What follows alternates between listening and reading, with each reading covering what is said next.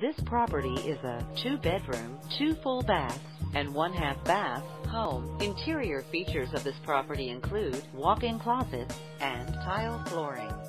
On the outside, this property features a patio. The approximate square footage is 1,272 square feet.